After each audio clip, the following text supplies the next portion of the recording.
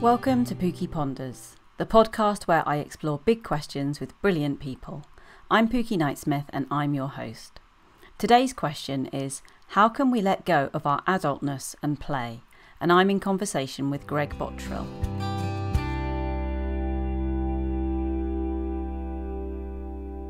So, my name's Greg Bottrill, and I'm the author of two education books called Can I Go and Play Now? And the other one's called School and the Magic of Children. That just came out in April. And I'm also the creator of the YouTube series, um, which is called Play School TV. Um, and all of those things explore play, which is what I'm incredibly passionate about. That's my life in a nutshell. so it's all about play. Why is play so important to you, Greg? Um, well, um, I was I used to be a um, an early years leader, an assistant head teacher in a primary school, um, and I was lucky enough before I went into train in education to go out to Reggio Emilia out in Italy. Um, and out there, they have um, a, a, sort of education system that really values children. Mm-hmm. And it was a real eye opener when I went. It kind of conso- con- sort of um, uh, coincided with the birth of my my daughter, and um, I just slowly began to see that children had something about them that they were magic. Um, and I hope every parent believes their children are magic, and I would also hope that every educator believes children are magic. Um, and it kind of, I don't know, I saw, saw it as it opened a door because I do believe play is like a door that you have to step through. And once you've stepped through it, you never want to go back. Tell me more about that. So, what happens when you step through that door? Through the door. Well, um, you realize that children are trying to tell you something. Okay. Um, they're trying to show you something. They're trying to show you how to live. Um, they're trying to remind you of your own childhood.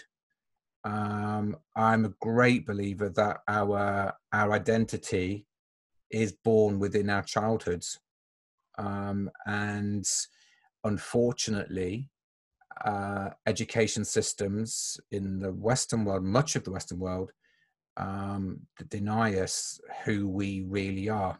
Um, they take away our creativity. I, I, greatly believe that children are born mathematical, and uh, the system, because it is a system, um, and takes that away from us. And I've, I've said, you know, and and I think you know, if you've got your own children, most parents would see that our experiences, our own experiences of school. I think if we held a straw poll and we asked adults who's good at maths, mm-hmm. most adults would say that they're not. But that was what they were taught by school. And so I'm really just interested in how play, and more specifically, how childhood can come alive within our education systems because I believe it absolutely can, especially with in early years or in early childhood, as I prefer to call it. Um, so yeah, that that's kind of that's my my greatest passion is trying to show that play. It's not just about. It's not trivial. It's not fun, even though it is. Mm-hmm. It's something far deeper and, and richer than that. And so am i understanding correctly then that you kind of feel that this is something that we're born kind of able to do but we kind of unlearn it over time yes. Absolutely. Absolutely. So, I'm an adult who's not very good at play. I'd like to be better. So, mm-hmm. what do I do? I need to copy children, or I mean, how does that? um, in, in in a way, in a way, it is kind of like that. Um, we are, you know, we are as adults um, we we kind of sort of center around the idea that we are the ego and we're the controllers of learning and we're the controllers of, of of children. But children are actually they're full of ideas and wonder. And maybe in our own childhoods maybe we didn't have the opportunity to have that wonder. Maybe we had to learn it for ourselves over time. You know not everybody has a great childhood. I, I accept that. But children are trying to remind us of what life can actually be. And I often talk about the, looking for life in the small corners of the world. Children, they they they they they see they just see things differently to us, and and it all comes down to this idea of the cardboard box. How children see a cardboard box. Me as an adult, um, I see it as something really frustrating that I've got to break up and recycle. It becomes something impractical.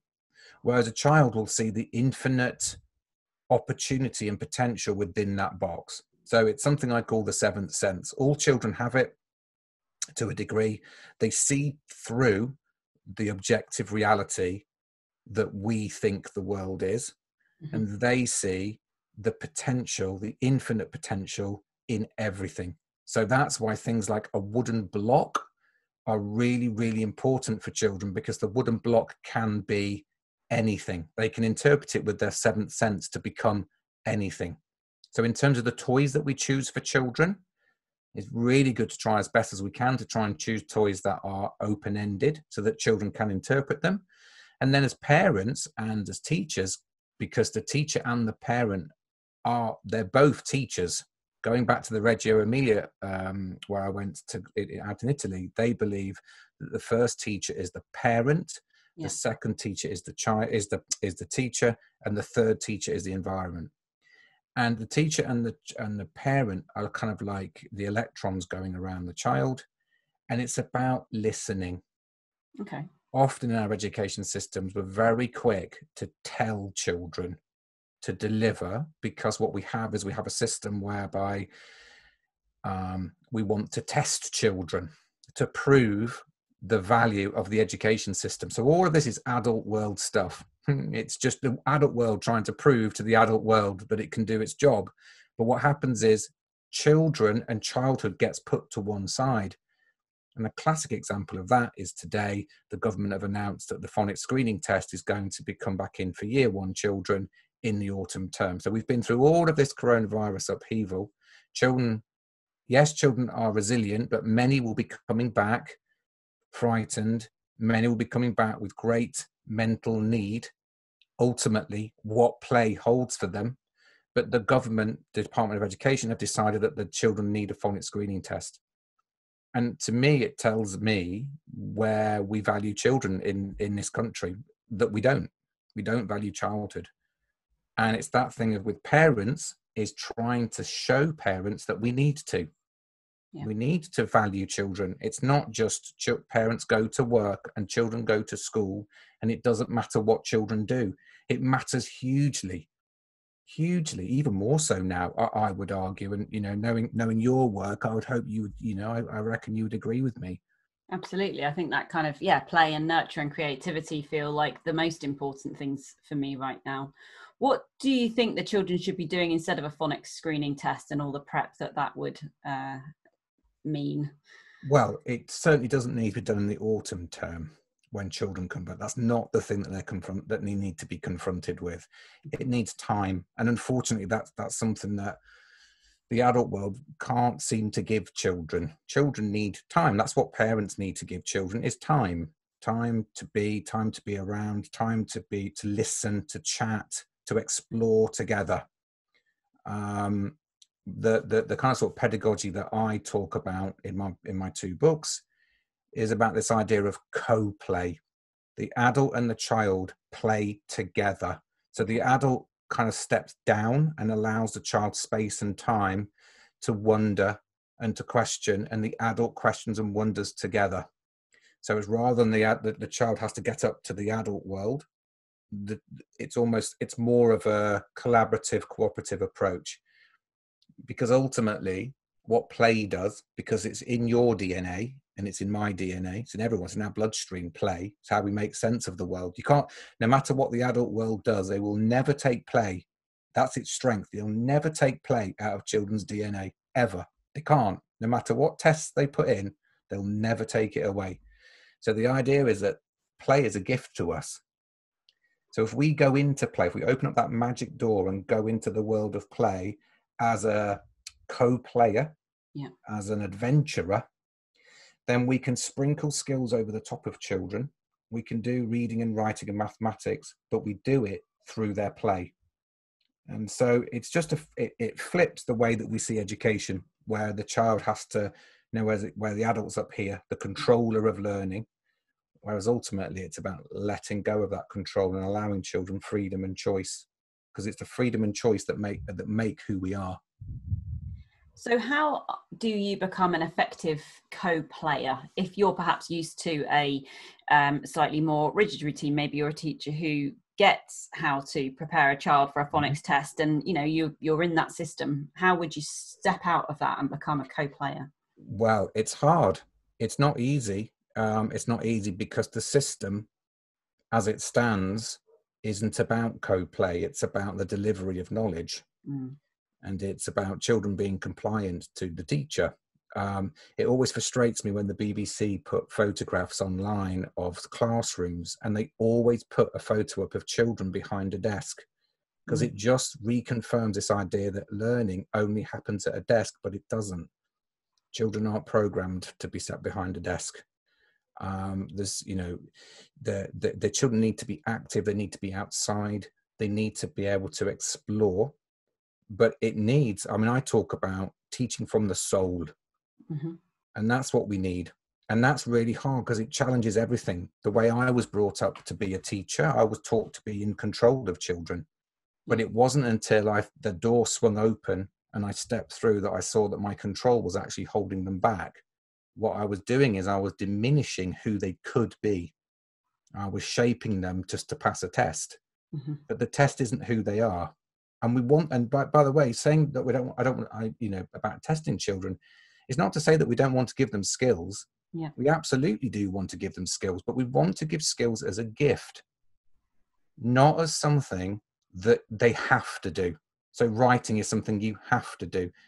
You know, writing is a really incredible gift, isn't it? It's the most amazing thing that you can make marks and Yeah. someone else can interpret it yeah and either understand, I mean, you know, or not understand. You know, if you write on Twitter, whether you understand or not understand. But it's about showing children that play extends into language. You can play with words, but you can't do that if it's just you teach phonics so it passes a test. That's just, it's dead. You're just teaching dead language to children because all they're doing is doing it so, to, to be compliant to pass the test. And that's not a criticism of teachers at all. It's a criticism of the adult world yeah that demands this from children. And you know, to me, you know, reading again, like reading. I mean, what a gift that is to give to children. To be, you know, if we looked at your bookcase now and we, t- oh, you know, we went to the orange shelf and we opened up the book, and we could take something that someone has taken out of their brain and put on a piece of paper. What a gift to give children. And yet, what we do is we create these systems like book band books, yeah. which, if you've got your own children, are the most dullest thing in the world. You know i can't you know because because teachers don't read book band books to children at the end of the day. Why don't No. they? Because they know they're boring. So we say to children well you can have that book band book and this really beautiful book like the giant jam sandwich or whatever book it might be. This is the real stuff. You have this fake stuff so we're just giving you know when we do that we've got a system that's telling children that reading is quite boring but it isn't. It's the most amazing thing i would hope. And judging by the number of books on your bookcase you I can as see long as books are in color order i love them all. What uh, teaching from the soul sounds like quite a bold and brave thing to do. Tell me more about what would that look like? Like take me into you know one of your classrooms say. Because but well teaching from the soul is about the connection that you have with the children in front of you. Mhm. so it's about going into the children's play to understand who they are. So children not only have got magic my belief is that they've also got a mystery. They're telling you about childhood and they're telling you about themselves. They're telling you how they interpret the world and how they're interpreting themselves within the world. Okay. So it's our job to make time and space to go into that, to go and learn from children. So again, it's this kind of flip, if you like. And ultimately, what I'm not then doing is just taking a teaching scheme or a topic and saying, I think this will do, or I taught this last year, so I'll do it again. yeah That's not teaching from the soul. Teaching from the soul comes right from here because it's almost like if you didn't do it, then the world of I talk about the world of good things. We want the world of good things for children, don't we? I, I think we do. I think children deserve it. They deserve adventure. They deserve magic. They don't deserve just tired kind of just regurgitation of stuff. And to me, the only way to teach them the soul is through play. Mhm. And those I talk about play and not play. So there's play, which is where children are choosing for themselves Mhm. and they are playing with whoever they wish to play with in and they are interpreting the world and then there's not play they're the moments where i call them to me to teach them a particular skill that i know that play can't quite do as in if i'm going to teach phonics for example i wouldn't necessarily just stand in the middle of the room showing you know 30 children flashcards because a they're not going to look. And also you know the richness of their play is far better. But then i do a bit of not play a bit like coming to a base camp. Mhm. And saying on the adventure right this for this next bit we're going to need these skills. And i talk about tight teach so that's like a tight teach of not Mhm. play and then into open play. So the two work together. Okay. so like co-play is is like you go into play and then at moments children come to you as well. But they only come to you because at that moment you've got something magic to show them whether it be a story whether it be something to do with phonics whether it's you know something amazing about number. Um, and all the time in the play Yeah. what we do is if we're co-playing we're just popping up skills all the time. Because play doesn't recognize a curriculum.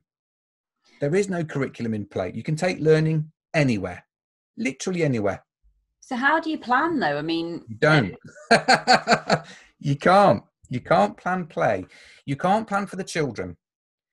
You but you can plan for you so Okay. for example if i know children are struggling with a certain thing i plan what they need in terms of the skill so Mhm. then i'm looking at what they're doing within their play as to how i can sprinkle it over the top but they're not defined by that next skill i will just see where the play will will will, will take them so the traditional model of teaching is you plan for the children Yeah.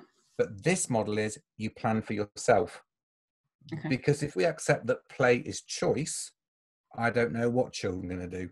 And that's the biggest thing that stops co-play. It's the biggest inhibitor for teachers who won't play because they've got to let go of control. Yeah. and we're raised in control. So it so it's like you you you have to then but you do get the control back in a way because you're planning for yourself. You you know what you're going to do but you don't know what the children are going to do Oh, I feel a bit edgy just thinking about it. yeah but that's but that's it, it's huge it's it's it's a really big way of it takes it takes faith in children massively um and we mustn't forget it's not just the children don't just come in and play all day some Mhm. some places do that in my version of co-play there are those moments when children do come to you okay. because I want to open up some kind of magical gift to them, whether it be a new math skill or, or what have you. But children will then be operating Yeah. within the room in the play that I have created for them. Mhm. Like I call it like a learning landscape that they're going to go in, they're going to have an adventure. And you know what? I'm coming with you and we're going to go and explore this together. And it can be, it can be really, um, it, it can be really difficult for, for teachers to do the main thing is is it's about childhood and when does it end? When does childhood end? To me it doesn't end at five. No. and it doesn't end at six or seven or eight nine ten, i don't know what you know i personally would say it doesn't end until it's 18 and part of childhood to my mind is that children need choice. And they need to be able to collaborate not be sat at red table green table blue table yellow table Mm. and be defined by their ability because play doesn't see ability Yeah. Do all children come with the kind of the skills and the understanding and the confidence to play well, or are there things that you need to teach and establish to? um yeah there's certainly you have to have what i call play parameters you have to have rules Yeah. um you you know it's not a free for all and again part of the difficulty of play because it's freedom the difficulty that adult, the adult world has with play is that they haven't set it up and they haven't controlled it so they worry about what's going to happen yeah. um, and that's perfectly natural. Um, and sometimes it can feel, it can seem like you don't know what's going on, but the children do because it's their play. Yeah. And that's where when you go into it as a co-player, you begin to understand the mystery of what's what's going on around you.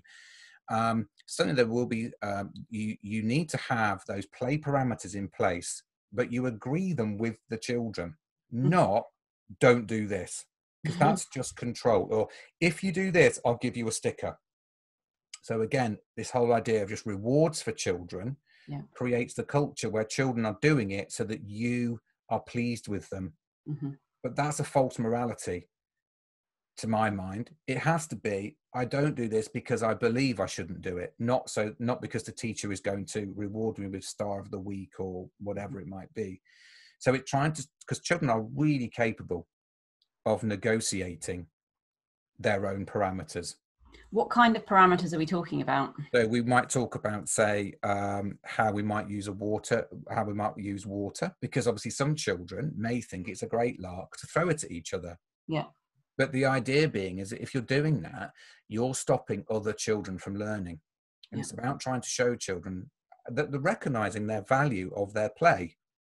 Because the adult world often talks about you work and then you play. When they go through school, you have a lesson and then you get your playtime. Yeah. The playtime is the reward, but play is the reward in itself. So things like I used to do things like I used to pinky promise with my children. So we'd get them all together and we'd make a pinky promise about how we were going to use resources. So it became like a negotiation as to we all agree. This is what we're all agreeing on. If we're going to be inside, we're going to walk. Why should we walk? Well, if we're running, we're going to knock someone over and then we're going to hurt someone. So there's a there's a sort of a moral yeah. framework that we're working in, rather than the adult just going, "Don't run." Yeah. We're doing it more in a positive way. Walk, because if we walk, children have got the opportunity to learn. In the same way as tidy up time, Yeah. it's about saying to the children, if we don't tidy up after we finish playing, the next children that come, they can't learn because we've just left it as a mess. And what we do is we do it together. So I am I as the adult, I also join in too. I don't just stand in the room commanding children to tidy up. Yeah. We do it together. It's the idea of like uh, let's let us do it together, so that the children see that I'm no different to them. I'm not above them. I'm taller, but I'm not, you know. And I've got a bit more knowledge, of course. And I've got a big grey beard and a bald head. that they don't have. Um, but the idea is that we're working as a team. We're a community. Yeah. And it can be really, really powerful. And do you have kind of particular sort of activities or kind of go to modes of play that tend to kind of work better, or is it very free flowing? It can be very free flowing. Um, I often, again, a lot depends on the, the, the key to it all is, is the landscape that you set up, the resources that you enable children to, to interact with. Yeah. So there's a big long list of things um, that, that children, you know, really love. And the idea is, is that we're always interrogating and asking what we put out, what skills it's got within it, how children use it, Yeah. because the moment we start doing that so we, we see ch- how children interpret certain objects what it does is it gives us an idea of how other children will do it as well. So children are kind of passing their gift to you which you then pass on to other children that weren't there in that particular moment. And children will latch onto it more because it's come from the world of children Yeah. not from the world of adults. Because actually children do listen to children far more than they listen to adults like they really do. That they really do. They learn more from children probably than they do from the adults. So, if children are learning through playing, and your classroom is a place of of play, Yeah. then what happens at playtime? You don't have them. You don't need them. We just used to just go on through. Just Okay. have the whole because because playtime is there as the break for children to run around. But if you have a play culture, as I call it, your play culture enables children to choose to go outside because outside has equal value to inside. Mhm. The learning will follow them. Maths and writing, reading, all those things will follow them because it's in them in here. Yeah. So rather than it being we've done our work and we go outside, the children are, and again, so it's a different way of working. You have to forgo your cup of tea at playtime on your quick chat in the staff room. Um, but what it gives, I, I talk about a play sandwich. So Okay. play, the play sandwich is where you do like a bit of not play carpet time first thing. It might be some storytelling or something Yeah. and then you have a big chunk of play and then the other bit of bread is a session of phonics at the end or some maths or whatever it might be. So you've given that really big chunk of time in the middle because um, it's that bit in the middle that's going to be the most exciting part. No matter how brilliant your carpet time is, the excitement is in the middle because children are now playing and they're showing you the world and they're showing you who they are. And do you um, find that other people that you work with get on board with this and, and come along, or is it a bit trickier to get some adults to join in? Um, it's a process. It's it's as I see it, if you're going to go on an adventure, which I believe play is, then we have to accept that some people are not as far on in the adventure as you are. That doesn't make them less of a person. Yeah. It doesn't make them, uh, you know, they're not. It doesn't make them a weak practitioner. It doesn't. It just means that that those who are further on in the journey, yeah, feel it and are uh, have have learned more, if you like, and it's their job to enable the people who are less so to follow. But what it takes is is great honesty. Great, you have to be in this way of working. You absolutely have to be honest with your shortcomings to share them as a team. Why? Because, well, because if you don't like playing outside, for example, mm-hmm. you will put in as an adult you will put in a million different reasons why you don't like like why you don't like outdoor play. But ultimately the reason might be you just you feel the cold. Mm, mm. so you so and we're great at adult that aren't we? Put all the masks up all the personas. That's that's what we do really brilliantly. We're really good at that and we make we build all the barriers up. But with co-play you have to be absolutely really honest with yourself about your practice. And even those who are further down on adventure, they still have to be honest with themselves. And they have to reflect on who they are because this is this is about, I believe, it's about becoming a really authentic educator because yeah. you're teaching right out of here. And where are your shortcomings? Where are my shortcomings? I've got loads, probably a lot. Ask my friends. Um, well, um, where are my shortcomings? Probably in that often I have been in certain areas and I've not valued them. So, for example, I was talking. I, I have a, I have a like a mentoring group, and we were talking yesterday about how sand. I used to find sand really difficult to play in as a resource. Um, I I really don't like the texture of it. Mm-hmm. Um, I, it, uh, there's something about it. So I used to find it really hard to go in and play in there, um, and I didn't value it as much but actually what it took was was the honesty to talk with my team and say look do you know what guys? I'm struggling with this. What do you do? How can we? How can i overcome this? Yeah. And so we put in things and i was a leader. And you know so i allowed my team to kind of reflect with me and go okay let's put these things in place.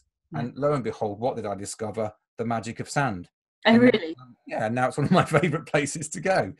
But it's i i could have carried on putting up the barriers couldn't i? All the time but unless you're honest, then you know, you, as an educator, you know, it goes back to you were saying, you know, about this idea of letting go and playing. Tons yeah. of people will be really opposed to that, but ultimately, it's about fear of letting go. That's what we're afraid of. Why do you think we're afraid of that? Because we're raised to be in control. We're told, you know, I was when I, and by the way, I'm not criticizing teachers here. Really, really, really not. It's just it it just it's just a different way of of educating, which mm-hmm. is hopefully, I would like to think, is beginning to emerge more and more. More and more people are be, are, are finding the joy of it because ultimately mm-hmm. that's the missing word in education is is is joy. joy. Um, and again, it goes back to what the children deserve. And if we don't believe they deserve joy, then personally, I don't know why we're in education, and that goes all the way up to the top of the DFE. If you know, if we can't see that joy has got something to do it, I question why we're in there. But anyway, um, but ultimately, yeah, it is. It's it's we we are we are trained in our teacher colleges and universities how to do guided reading, a, a lesson plan, all these things. But yeah. what we're being told is is how to control. Yeah. You're told how to do behavior management. Most behavior management comes back to the adult world we set up we set up rules because what we try to control controls us. Mm-hmm. The more you put in control, the more you, you you you stress about what you can't control. and then what do we do we blame the children and then it's the children that that you know they miss their playtime because they didn't do this or whatever you know so what does behavior management look like in your classroom it it looks like joy it looks like enabling children to be engaged because the moment children are engaged behavior tends to just go because the children want to be there. Mm-hmm. they, you know i used to have children and and i'm you know i'm i'm not um you know I, am not the perfect teacher. I'm i'm really not. I'd like I, I'm, I want to become the perfect teacher. That's what i want to be but you know i had children that did not want to go home at the weekend because they loved school so much. Aww. they wanted because they knew they were going to get like when i when i was in there when i was around them something good was going to happen. Yeah. They knew it. They knew because i was the co-player. I was going to show them something really cool or i was going to listen to them and value them. And if you're five you need to be valued. You know again it goes back to this idea of the government's baseline test that's, that, that, that they're trying to do, you know, for, you know, they're talking about, I know they've kind of postponed it for the year, but ultimately children coming into a school and in the very first few weeks, the adult world goes, here we go, have a test. Mm, mm. And that's what it is. They call it a baseline assessment, but it's not, it's a test. And what it's doing is it's telling children that this, they're going to get pushed to the side of their own lives. You're not important. And that's what it is. We don't, your play is not valued you do what I tell you to do when you're in here. So the idea is, is that you have these, you, you have a, a, a, in terms of behavior management, my way of doing it was to have an agreed set of rules with the children yeah. that they recognized and that if children went outside of those parameters, the yeah. children would say, that's not fair because okay. we agreed this. So they're self managing. They self manage it because ultimately they want to play and learn because what you're trying to do is create the culture where play is valued. Because yeah. if you value play, you value children. If you don't value play, I don't, I don't know. I, it's an open question as to whether you value childhood because the mm. two are together. They're, they're inextricable. And when does play kind of fizzle out and stop? I mean, I'm thinking at the moment about the wider reopening of schools in the autumn, and I've talked yeah. a lot to um, colleagues in EYFS and primary about play, and colleagues in secondary are saying, "Well, what about us? Does it matter for us too? Do children need to play as they return?" And what do you think about that? In secondary school, mm. or just generally? Uh, in secondary school, in, in particular, do, should we be encouraging play? I I certainly think we need to encourage the echoes of play. Yeah in terms of I'm you know I, I I often come back to the idea of show not tell. We show children, but we don't directly tell them. We have to, you know, children are born curious. Mm-hmm. You know, if, if, when when babies drop their food out of the high chair, they yeah. want to know where it goes, and they look down. They don't look up; they look down. They're learning through their curiosity. They're learning about gravity in a very, very simple baby brain. Yeah that's what they're doing. And so, you know, ultimately the question is, is when does it end? You know, my, my son's now, and my daughter's 18, so she's finished her, she's done with her secondary education, but you know, my, my son's 14 and he's at an amazing school that actually really do encourage them to be curious. There's lots of project work that goes on, and it's not just do do do do do do do and they're one of the most top you know they're the second top performing school in devon. Out of all of the schools private and independent they're a state school. And they're led by a head teacher that gets children. It's cool to be who you are. That's kind of their ethos. And it's not about just like machine gun teaching. They just they give you time and space to follow your interests and use those as best as they can so I greatly believe it is about this idea of the echoes of play, okay. which is why play is so important in nursery. Yeah. That should be like like really humming with play and then it kind of goes up and as you go through because the curriculum gets you know this idea that the adult world says you've got to have all this knowledge you've got to know you know what a fronted adverbial is at the age of seven yeah. you know exactly and you know, if anyone anyone can explain to me where the joy of a fronted adverbial is at the age of seven, I would love to go and have a drink with them because there is none. There isn't. Of my daughters actually, I remember her literally crying over fronted adverbials when she was about that age.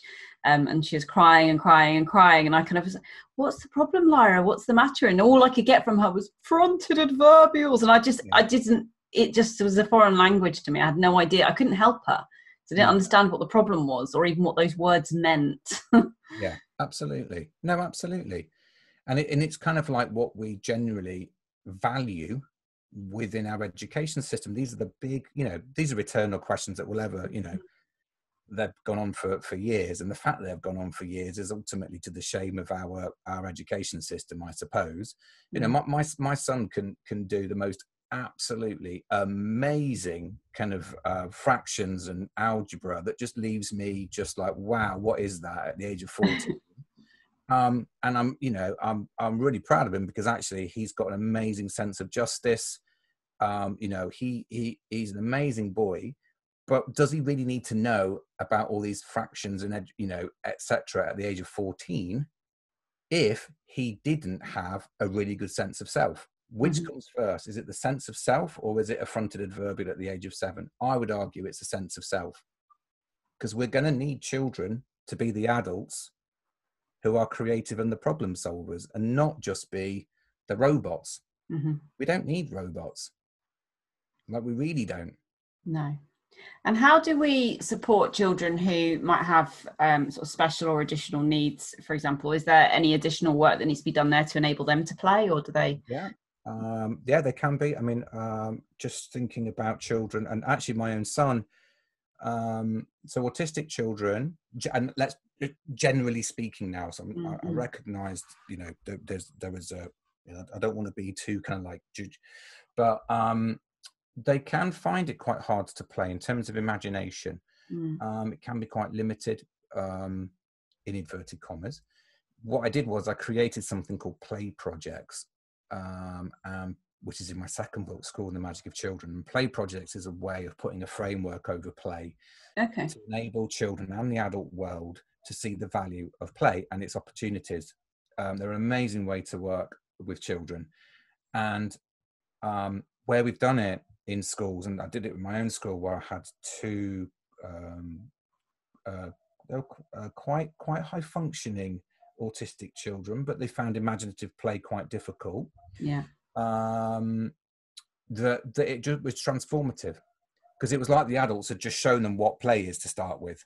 Yeah, I was going to say it's appealing to me, but then I'm an autistic adult who didn't really ever learn to play. So uh, yeah, give me a script and uh, I'll give it a crack. yes, well, it's kind of is like that. It's it's a bit like um, it's it's it's like it, what it does is it dissects play. So we talk about play, and this is yeah. the problem with the adult world. We talk about play, but what is play? Mm-hmm. And so I've done lots of work in my second book, The School and the Magic of Children, on breaking it down as to what it actually is.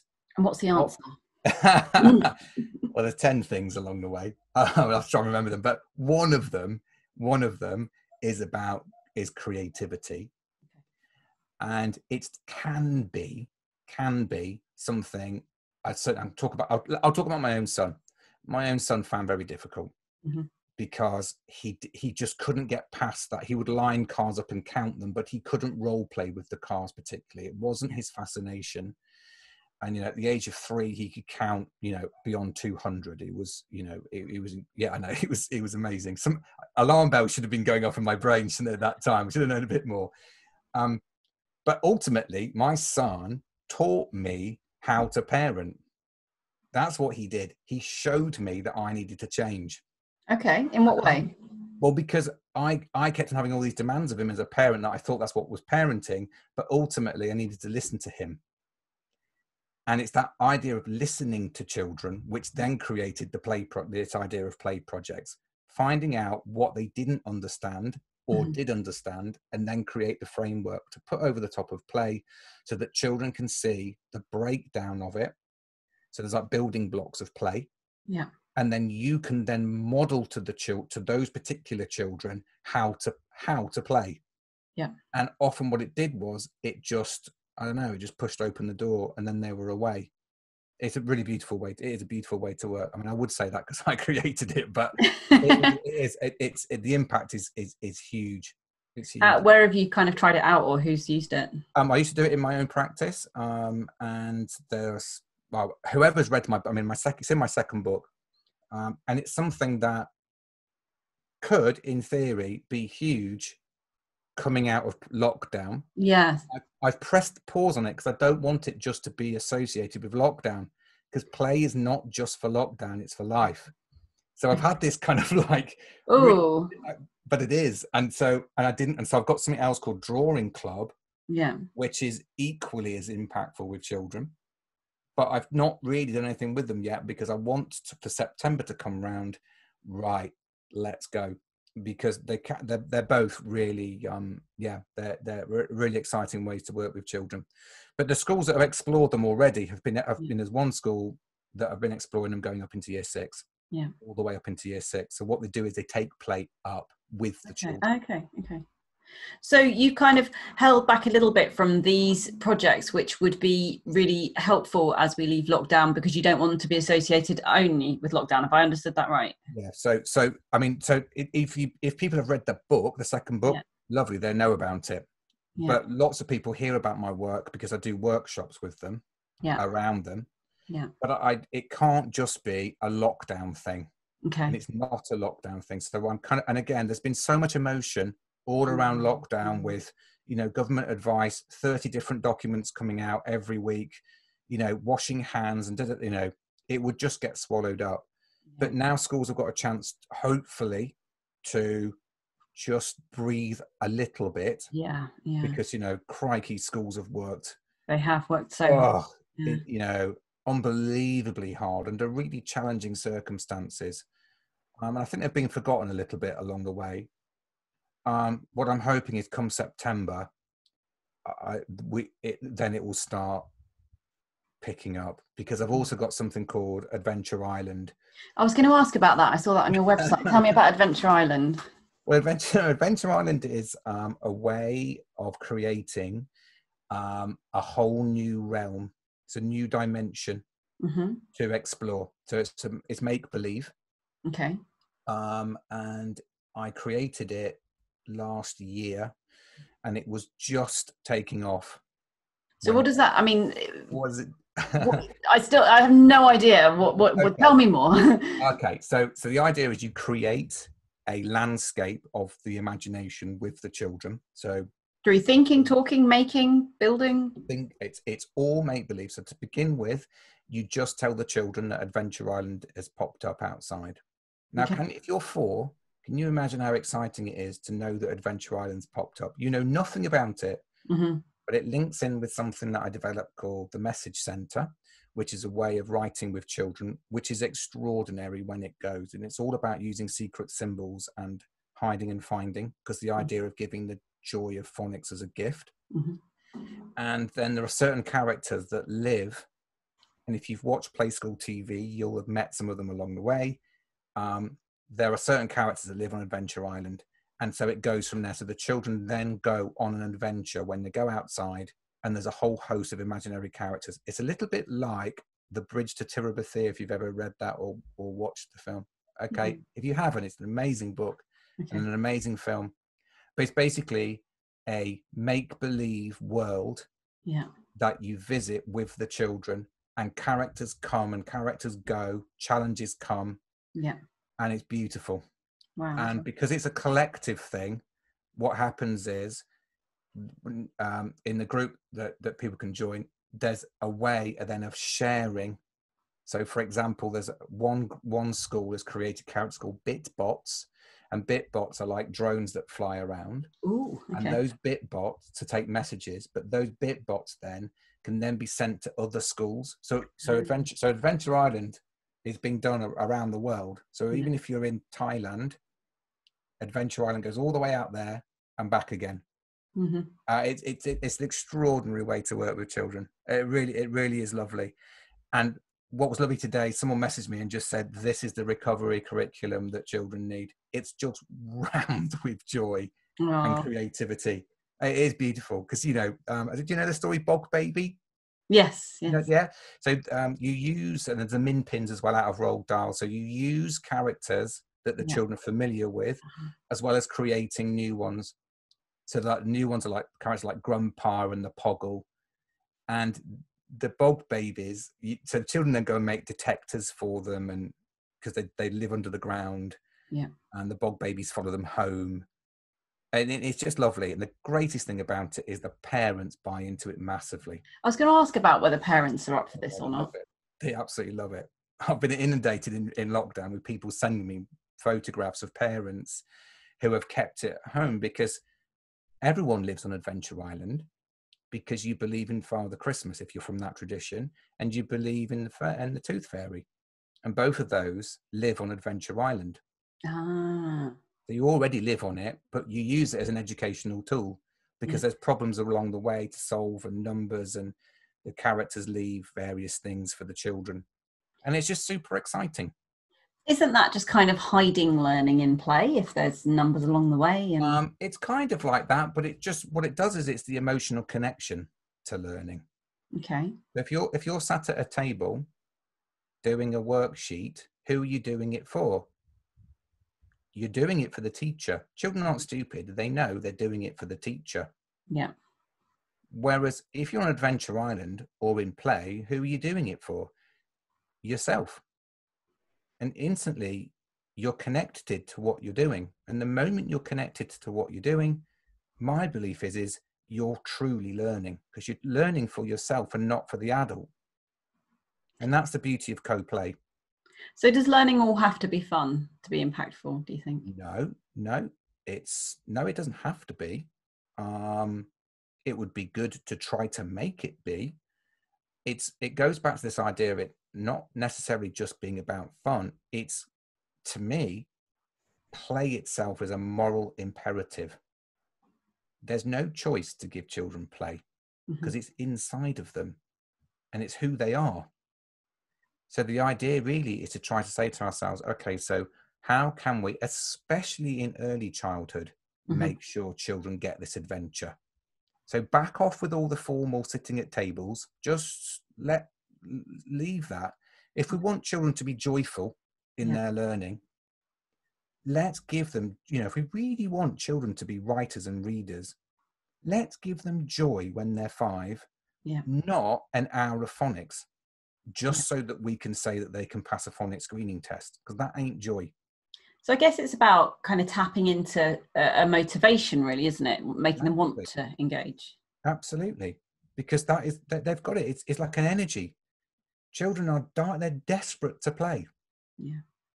Tell me about Play School TV. So I've I've, I've had I've had a, a bit of a look at it, and it looks it looks really fun. Uh, yeah, like lo- lots of, of you in the woods and your lovely dogs Bonnie and Eppie having Yeah. having a lot of fun.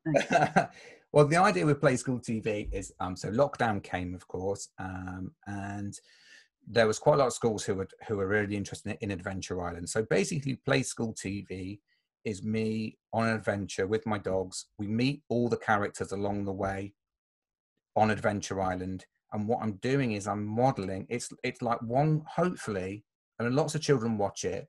But the idea is it brings joy, Mhm. it brings learning, it shows that learning can go anywhere.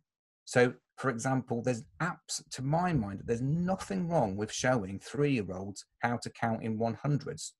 Mhm. You do it because it's not the curriculum, it's just that it's joy.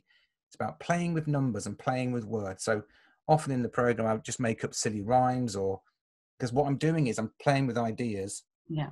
I'm playing with this idea that because really Adventure Island is a living storybook. It's not fixed, which is one of the beauties of it because you have children that will come to school who will have a real like rich canon of stories that they've been read. Yeah. And next to them will be children that don't. They haven't been, I mean, I call it book snuggled. They haven't been Aw. book oh. snuggled with. So the children that have been book snuggled cross pollinate with the children that haven't. They lend them. As soon as you go mm. onto Adventure Island, you can guarantee the gingerbread man will pop up. Yeah. Th- th- These characters will come from traditional tales of three little pigs. But if I haven't been book snuggled, I won't know them. So the mm. children share their their uh, their sort of literacy, if you like. Yeah. But the idea of Play School TV is really to model this idea of show and tell Yeah. and the adventure. So the schools that have really got involved with it, they often watch it, and then the children are desperate. Weirdly, they're desperate to go to Adventure Island. Weirdly, they don't believe I'm real. They believe Bonnie and Eppie are real, but they don't believe I'm real.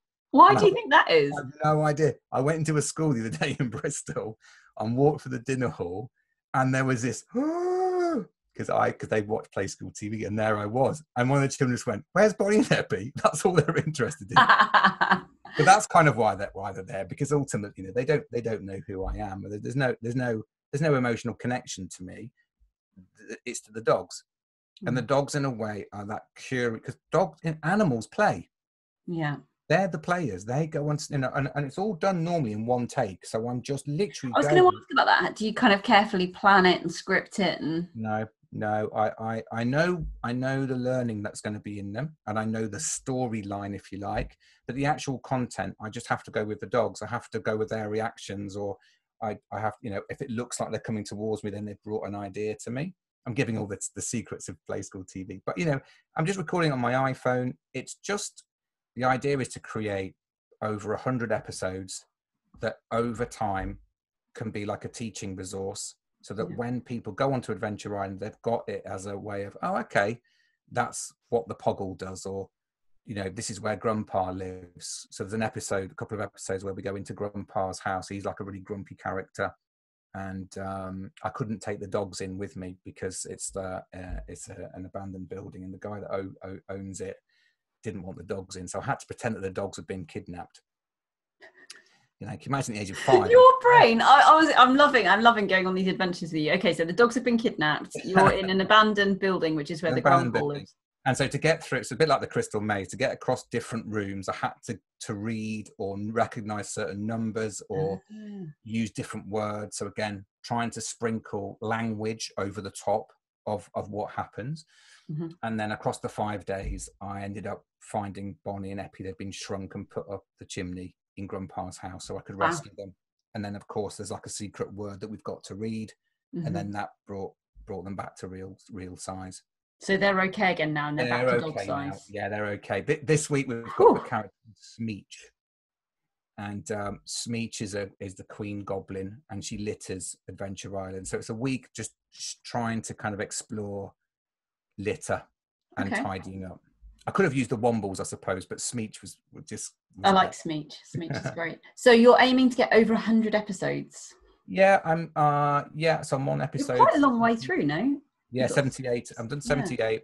Yeah. Um, but I'll just keep going. I mean, when when when I begin to go back to traveling again, um, to go and do training in schools, I'm hoping to um, to still do it, and I'm also looking along the way, and if there's anyone watching who's got one spare to give to me, is to take a van out and go and do Adventure Island with the van and go into different places. Oh wow! So yeah, it's um yeah I don't know.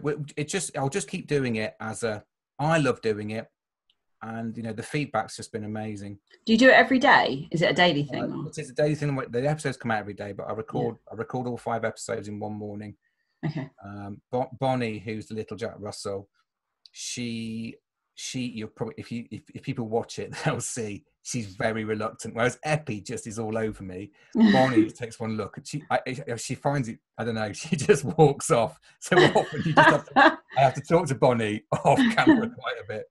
Um, yeah. but eppie just loves it. She just loves it.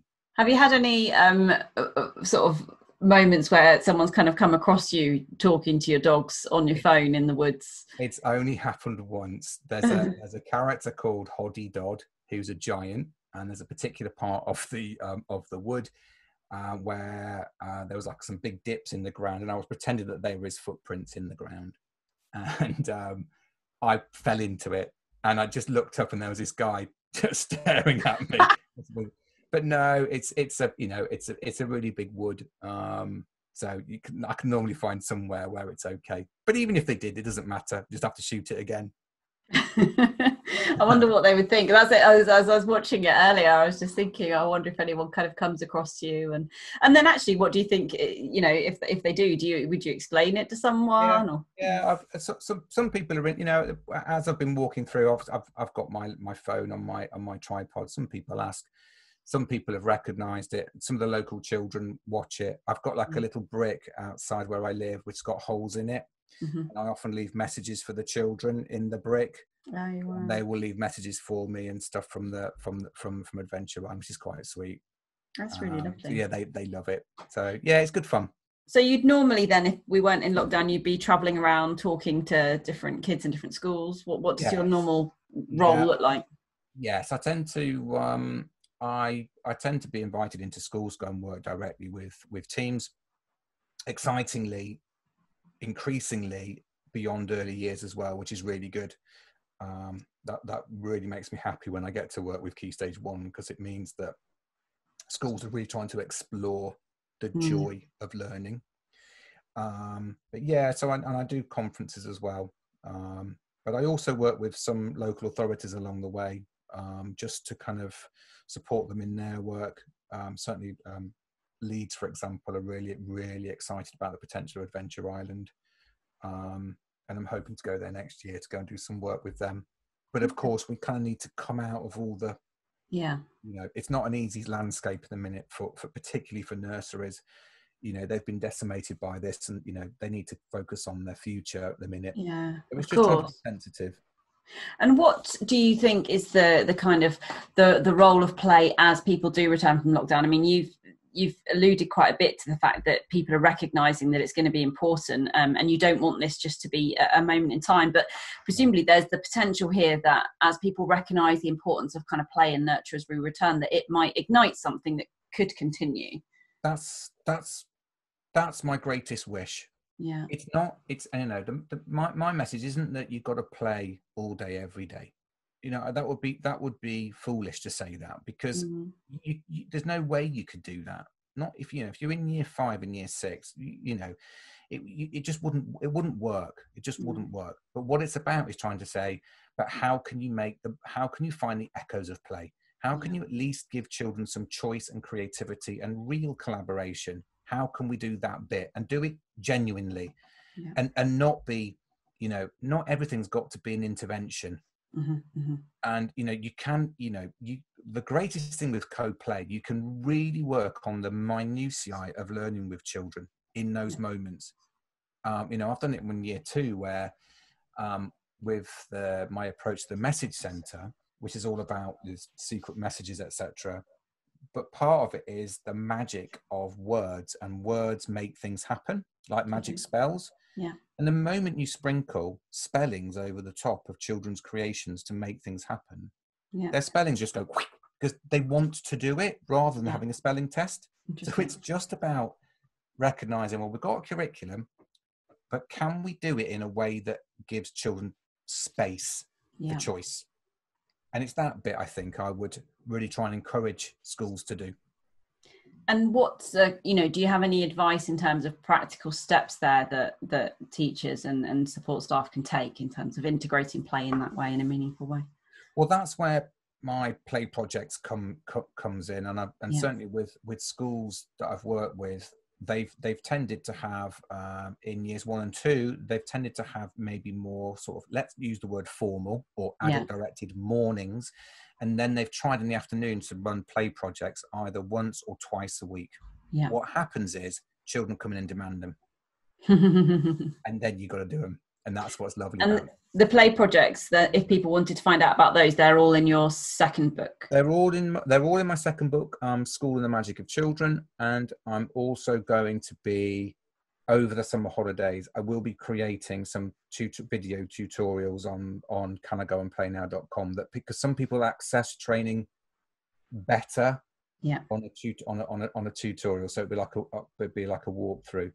But certainly, where I've done uh, in my own um, in my subscription uh, mentor group, we've talked about event about play projects with them and the people in that group were just like oh my goodness this is it so i know they i mean they absolutely can work and they're not Yeah. they're not difficult to do Okay. it just takes the step of faith to trust children that they can direct their own learning So a bit of a leap of faith there, but then people will learn from seeing the results, I guess. Actually, yeah of course oh absolutely absolutely because the thing is what happens when you allow children to play something happens to you as well as an adult you start to transform.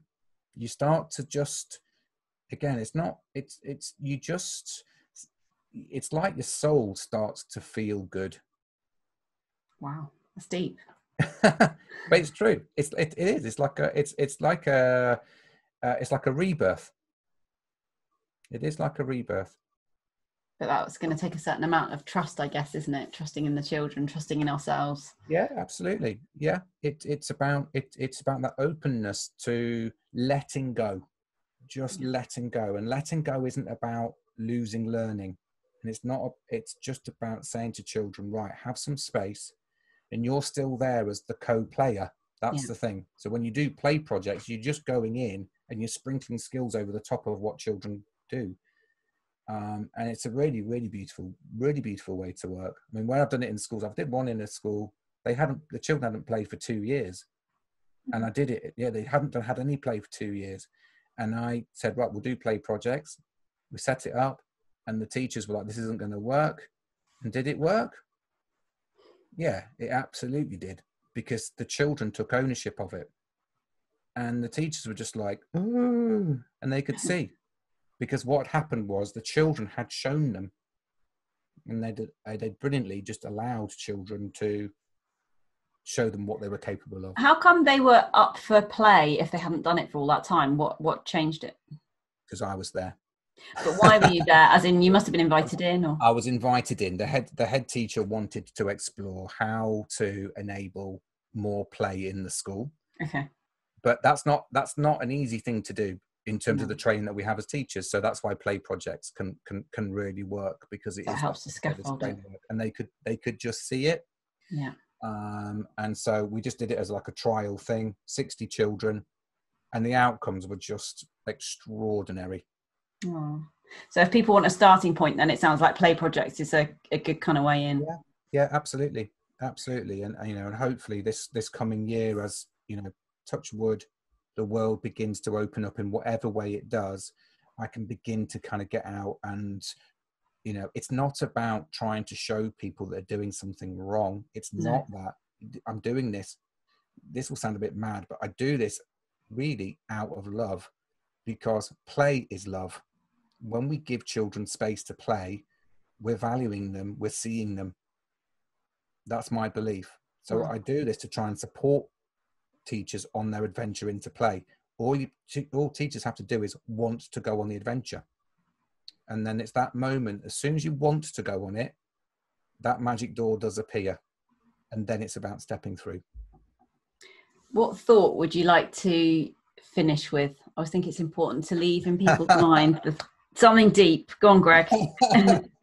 um, I think I think probably I think I just go back to this idea of childhood being this chrysalis for identity, and that play is childhood. They they they, they are that you cannot separate them, and play is learning, and it's the most valuable type of learning and ultimately, it's a gift to us as, as educators. We can step into the children's world rather than bringing them out of their world into ours. If we go into theirs, then it is. It's it's a it's a it, it's the most incredible place to go adventuring in. It's like going into Narnia, and who doesn't want to go to Narnia?